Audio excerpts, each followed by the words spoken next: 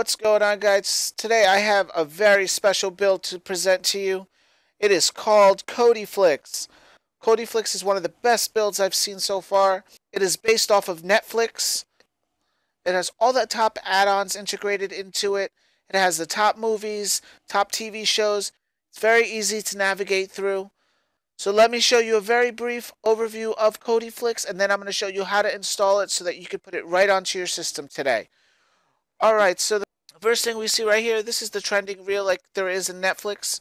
You can see that The Revenant's on here, The Big Short, and if we keep going, we can see all the other movies that are trending. If we go down, we have My Movies. Underneath that, we have the top rating movies right now. And you could choose one of these movies. And it'll open automatically. All right, if we keep going down, we can see what the current movies are for the year. There's screeners, and there's a whole bunch of other things down here on current movies. If you keep going down, you have the HD releases, so they have all the Star Wars movies. Any movies that they have in HD will be right here. As you go down, you have the 2015 HD movies. If you go down a little bit more, you have the cartoons. So if let's say you want to watch Aladdin, you get to pick a link. And it plays directly for you. And then we're going to keep going down. You got my TV shows. You have the trending TV shows. You have the TNBB TV shows. You have Her Place TV shows. You have Phoenix's latest episodes. You have Genesis most popular. There's TV, which you could choose between the most popular, last added, newest episodes. And underneath that, you have the one channel TV shows. And then we have our collections, which basically shows you the disclaimer and ways for you to get help. If we keep going down, we have Phoenix. Underneath that, we have UK Turks playlist for their live TV. And underneath that, we do have More Power, which has different types of movies and TV shows. So if you keep going, you can see there's a disaster disease movies, you have James Bond movies, futuristic movies, superhero movies, 80s movies. All right, and if we keep going down, we do have our video add-ons. So all our video add-ons will be here. So if you want to use i4A TV for your live TV, if you want to use Sports Devil, everything will be right here. So before we do put this build on our platform, if you do press the left button, in this menu you can choose directly which category you want. You could also see your video files. You can click live TV. There's a sports, kids. There's an add-on installer. All the add-ons are here and your settings is here as well.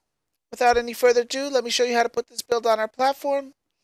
Alright, so the first thing we're going to do is we're going to go all the way to System, File Manager, Add Source. We're going to type in http justnewtech.com slash schism. We can name it schism. We're going to go back to make this easier for you guys, I will put the repo URL down in the description down below, okay? So then we're going to go back. We're going to go to Settings, Add-ons, Install from Zip. We're going to find the Schism, and we are going to install the Schism TV add-ons.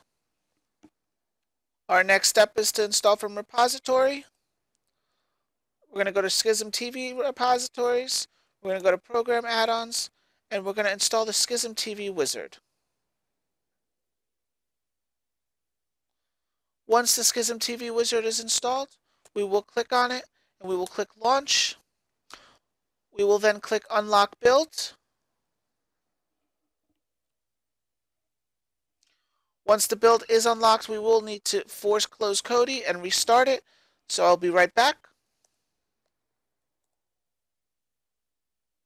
All right, now we can go back to Programs, Schism TV Wizard, and we can click Schism TV Builds. We can then install our Schism TV Kodiflix. This process does take a while, so I will fast forward this part till the end. Alright, right after it's all done installing, we will have to force close Kodi, so you will have to say yes close, and Kodi should close from there. This is the best way to get it to install properly. As Kodi is reopening, you can see the new Kodiflix. And over here, you can see Master User. If you click on the Master User, you will see that you have to enter in a master lock code. I will also be putting this master lock code in the description down below, but the master lock code is 20160402. And then we're going to press enter. In this screen, we are going to let it load and let it cache. That's the best way to get this to work perfectly. Once it's all done loading and caching, you can see that this is working perfectly. Thank you guys for watching. I hope you enjoyed this video. If you did enjoy this video, please give this video a big thumbs up, share it with your friends, and subscribe to this channel to get more on Kodi. Till next time, guys.